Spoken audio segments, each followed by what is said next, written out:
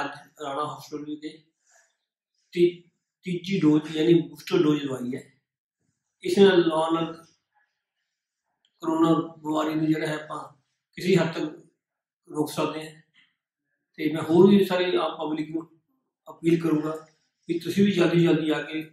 ਜਿਨ੍ਹਾਂ ਨੇ ਪਹਿਲਾ, ਦੂਜਾ, ਤੀਜਾ ਇੰਜੈਕਸ਼ਨ ਨਹੀਂ ਲਵਾਇਆ, ਲਵਾਓ ਤਾਂ ਕਿ ਦੇਸ਼ ਨੂੰ ਅਤੇ ਦੁਨੀਆ ਨੂੰ ਇਸ ਬਿਮਾਰੀ ਤੋਂ ਬਚਾਇਆ ਜਾ ਸਕੇ। ਅਸੀਂ ਰਾਣਾ ਹਸਪੀਟਲ 'ਚ ਵੈਕਸੀਨ ਲਗਵਾਈ ਦੀ ਤੀਸਰੀ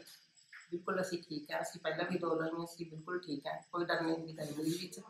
ਵੈਸੇ ਲਗਾਉਣਾ ਚਾਹੀਦਾ ਇਸ ਬਿਮਾਰੀ ਤੋਂ ਬਚਣ ਵਾਸਤੇ ਬਹੁਤ ਅੱਛੀ ਡੋਜ਼ ਲੱਗੀ ਅਸੀਂ ਰਾਣਾ ਹਸਪੀਟਲ ਤੋਂ ਬੋਲ ਰਹੇ ਹਾਂ ਅਸੀਂ ਤੀਜੀ ਡੋਜ਼ ਲਵਾਈ ਅਸੀਂ ਬਿਲਕੁਲ ਠੀਕ ਹਾਂ ਇਸ ਲਈ ਤੁਸੀਂ ਵੀ ਆ ਕੇ ਆਪਣਾ ਡੋਜ਼ ਲਵਾਓ ਅਤੇ ਸੁਰੱਖਿਅਤ ਰਹੋ